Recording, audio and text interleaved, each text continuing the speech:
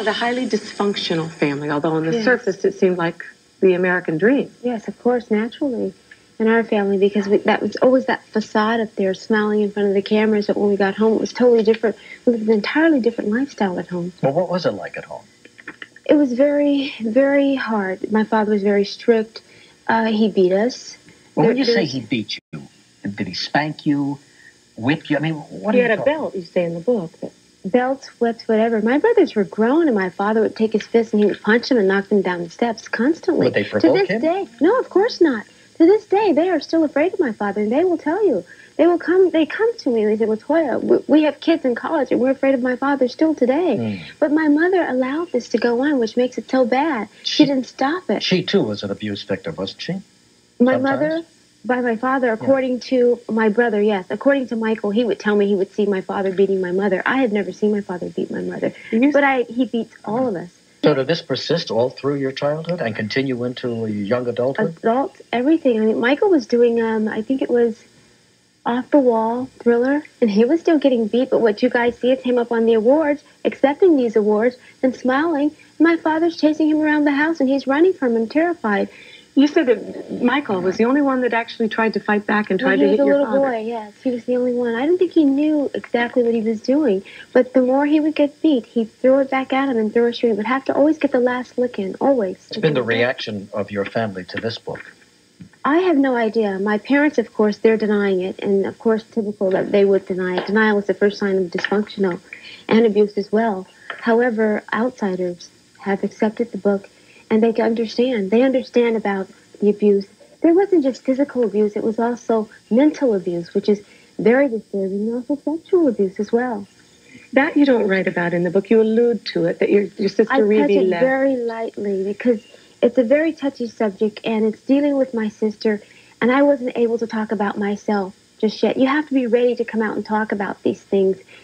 And it, it's a very sad story because Ruby is a wonderful person, I must say, and she left home at a very young age. She left home when she was, I think it was 16 years old. And the reason she left is because my father would get out of bed with my mother and he would get in the bed with Ruby. And my mother, my Ruby would ask my mother, please, mother, get help for him. And she wouldn't. She would not. So Ruby had to leave home. There were times, of course, when my mother would say, Joe, not tonight. Leave her alone. Let her rest. Don't get in the bed with her.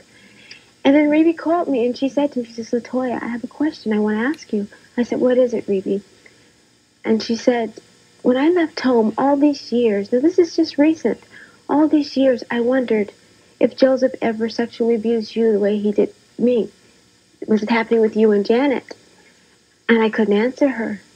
And she says, please tell me. And I wouldn't. It's things that you don't talk about. And she says, Latoya, you have to tell me. And I said, Ruby, there are just certain things you don't talk about, isn't there? And she says, okay, I understand. And So- that's when she asked me about Janet. And I said, I don't know what happened to Janet. But what about you, Latoya? Did he sexually Yes, abuse you? he did. Very badly. Do you think he did, Janet? I don't know. She's never spoken about it. I certainly hope he didn't. She has never spoken about it. My father, it began with me when Ruby left, and then it started with me. So when And did you what- decide that you were going to talk about it? You live with this all your life, and you feel that you're doing something wrong, and you're frightened when this is happening to you, and you're embarrassed. I have been embarrassed all my life to ever talk about it, to mention it, shy, afraid that people can see through me and see that this is happening. You felt like your And- family's living a lie all these years. Well, they have been living a lie, definitely. But uh, it, the disturbing and hurting part about it all is that my mother never did anything about it. And I wanted her so badly to say, Latoya, is he bothering you? Is he touching you? Did he touch you?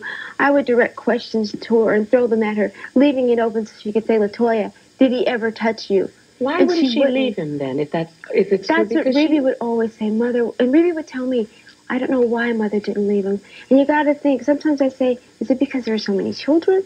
No, it wasn't that. Because after a while, everybody was old enough. You've never asked your mom that? Yes.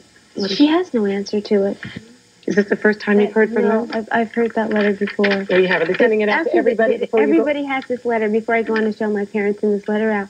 Again, that's a sign of just wanting to deny everything. And it hurt so bad when I was on another program and my family, my, my parents actually, I should say, denied everything. Everything. If they would just come out and speak out and tell the truth. It would help so many other people. And that's the reason for writing is I, um, I feel that I'm going to reach out and help other people who have been abused because you don't understand, but once you're abused, it affects you terribly. This goes on and on, and you live with it, and you live in shame, and you can't really speak out because you're afraid. And finally, you get courageous enough to do it, and then you do. And then you feel like the world's turning on you because you've been Yes, courageous. because you're doing it. Yes, it's like they don't want to hear it, but it exists, and you have to accept it. And don't be afraid to speak out if you're being abused. It's a terrible thing.